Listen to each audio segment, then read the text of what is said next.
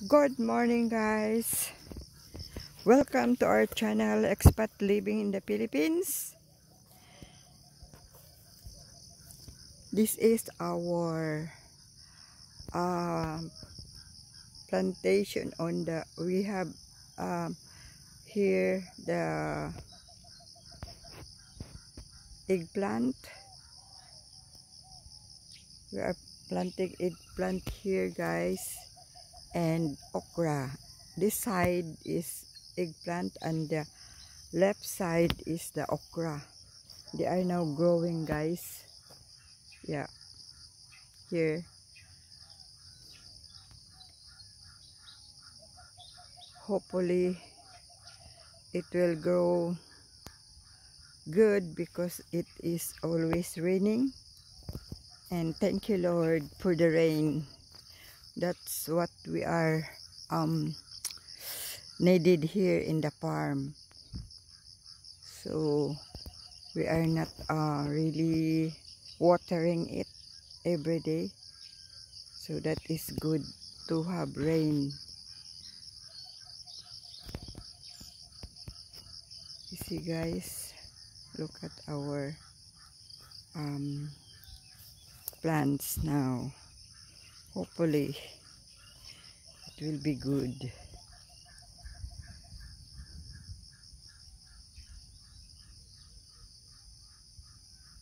And look at the view of the lake guy. It's still good. There's somebody um, fishing here. Hey hero. Morning hero some our are big now guys the eggplant but some are still young. This one is still young. This is the okra. Okra and eggplant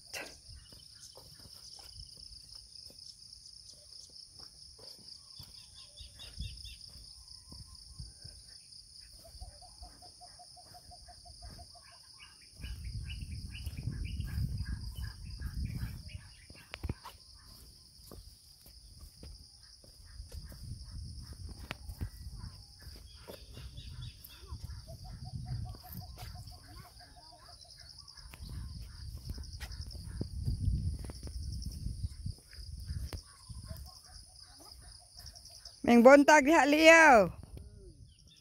Dagko na? Ha? Oh, gagmay pa?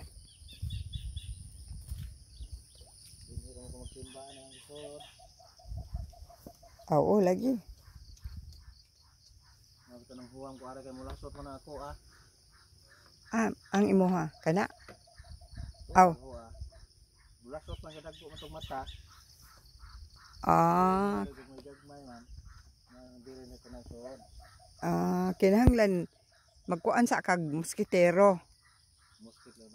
Oh, moskitero imong ibutang diha. Oh, ipadagko sa nimo, ay nimo ikuan. Mare di na kalapot ng uban ara ano ni. Inig. Ingon manok nok nga ilang ibalhin ko na ng ila ha. Asa ibalhin? Ibasa sa ko. Ay kuan na igawas na ba? Ah, ilan na igawas? Ako na puro ibalhin diha diha. Ay ako na ray uli di ako ah. Katutuang ilang itaos ako kuno gisi. Oo, adili gisi kanang ang kanang sinampayan ba? Ang tanggal. Ang si- amo to sang giingnan gihapon nga. Ug inyo na ibalhin yung dagko-dagko.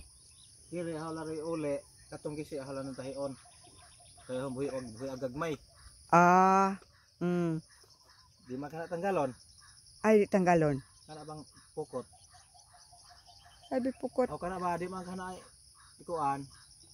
Di man kana tangtangon ng sa kapisked. Nganong tangtangon man? Kasi tangtangon ba kay kuan hora ng tahion kaya mo yung buhi agagmay. Ah, Kuno na iso diha. Kire hori uli. Ana. mm. Mo dal gisi ang pare hang kita he. Mm. Ah, gisi pud na. Ah, kato lagi ng pagkuan. Labaw pa to sigurong dako. Dako kuno kayo to ay. Ha? Dagko ko kita sa kadupa. Ang Gisi ato. ah, kato lagi. Ang iya lagi kunong tinahian. Murag na Kini ni kay natangtang. di man kay dako ni. Daghan pero gagmay ra. Ah, Mang sudlag gagmay lagi kay mm. sakto lagi po og ilan na tong igawas ng Ug magbuhi ka diha kinahanglan imo yung kanang kuanan. Imong takluban kay daghan kay langgam. Oh, lagi. Mm. Daghan kay langgam. Nga naon nimo ba? Tama- Bisag kana lang kinadag kanang dagko bitag mata. Tama. Barato man na. Pamahang pukot nga daan. Oo. Aray ana. Oo, oo. Kay kay ag kuan. Siningalan? sakto na yung mga sunod semana ano na iso di ano na iso diha Mm. di na nimo kuan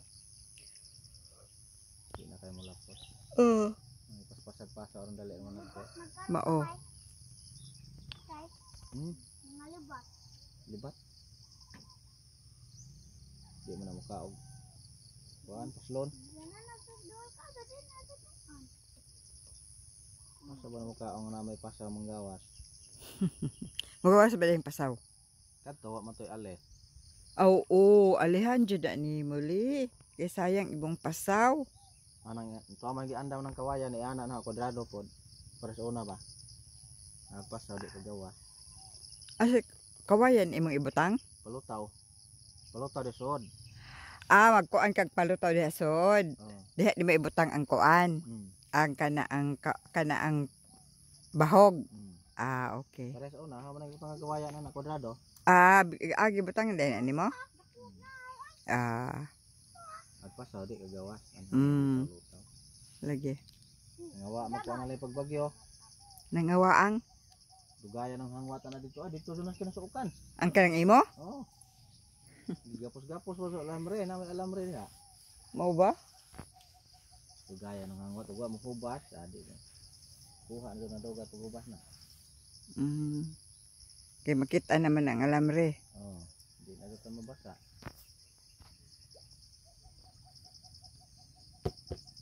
Dagko na ang kuan li oh. Hmm, suko na ko kabuno gahapon. Ah, Pero di ah. Eh, Dali ram na kayo kapatid kabuno. kaning kuan okra? Okra. Mabit na nang gipawa he. Ay, mao ba? Ang tiwaso ni Ron gahapon pala yung abuno ko. Sige nang lapog uwan ako ng undang. Ang uwan na eh. Lagi. Sige lang kay mo man ampay sa tanom. Ay, nabusbisan din noon. Lagi, di wa na kay hago. Wa na. Wala lagi nag nagtupong ang kuan, talong. Naidagko ni gagmay. Ma'am, katong pag-init ba? Ha? Katong grabe init ah. Oh. Kaon nga. Sige nga, nagkaon anang kuan. Mamputol ba gagmay pa? Sayo nga man. Sige, kung tapak na. Kung pang tapak ay. Ah, mga tinapakan di ay na. Tapak na. Ay, og, di pa kanon sa mananapo na putlon aglawas. Mm. Pareha kay na sila. Sayo nga no. Una unsa man wa gyud di ay spray ana nga maka Naaman, nya inighupas. Nga, duha ka adlaw, inighupas. Ini kagabi, maakpaak naman po. ay duha ra ka adlaw. Mga nang, naadyo po naon. Mayo unta tog na ika nang namang boy ibutang sa yuta nga murag kuan ba murag bugas Puradan. i ana. Wa naman po balik yung puradan, mamatay yung siligan sa una. Mm. Wa na. Anong giwa Manila? Yung mas lang pa ko stock. Ah, wala pa stock. Kasi naara na maduga. Mm. Ang kalingaw kung abono alam mo. Lab- lagi. Mao. Ari sa ko.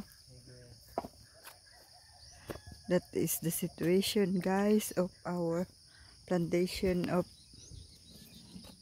uh, eggplant and okra.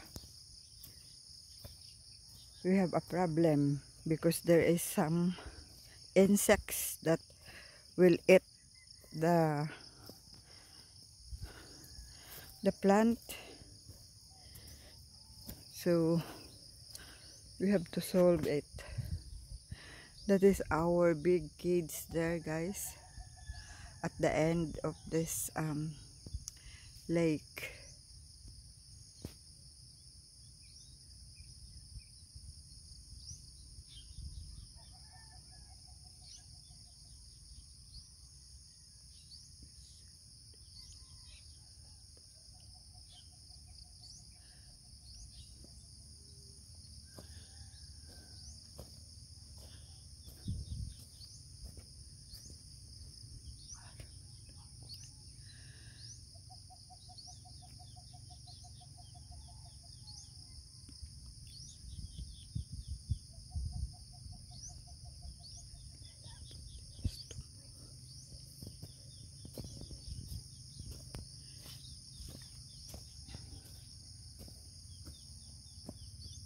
Masarap tong kuwan.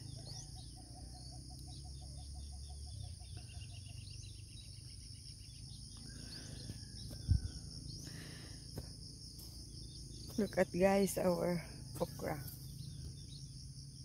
Yeah, that is the okra. There.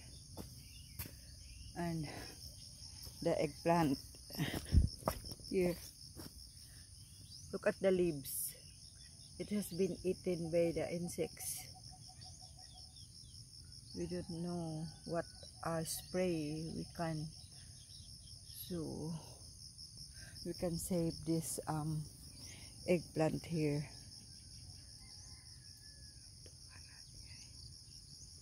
At wala.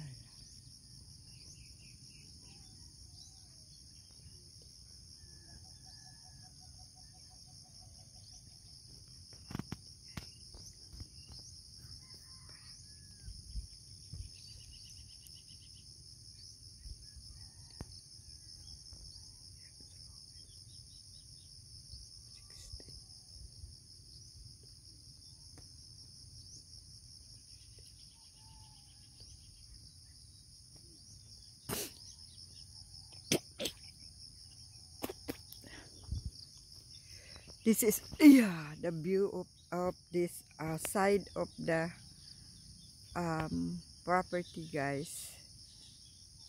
Yeah, there. Maybe we have a hard time to maintain this farm guys. Uh, we're planning to sell a little bit on this on this part here at the end. Here maybe 1000 square meter.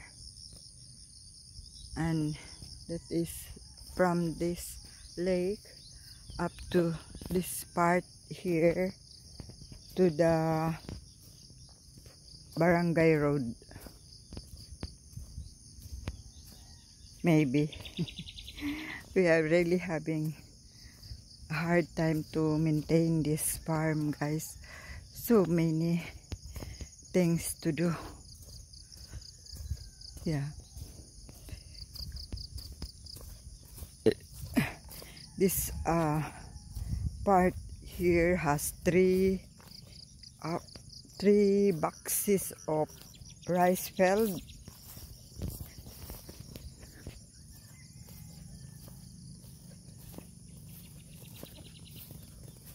hero and then yeah our our little house there our first house is now down by the Odette so yeah it is cleared now. Uh, that's the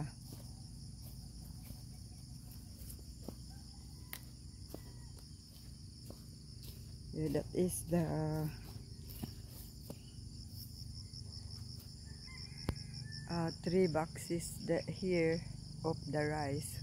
One two and three but the third one has no rice because it has no water when they are planting the rice. So yeah that is our that is the barangay road there. You, you see the two coconut trees there that is already the barangay road. And then and our um, property is just right there of that tall uh, tree there. Yeah maybe we're thinking from the barangay road to the um, land there that we planted the eggplant and the okra. So guys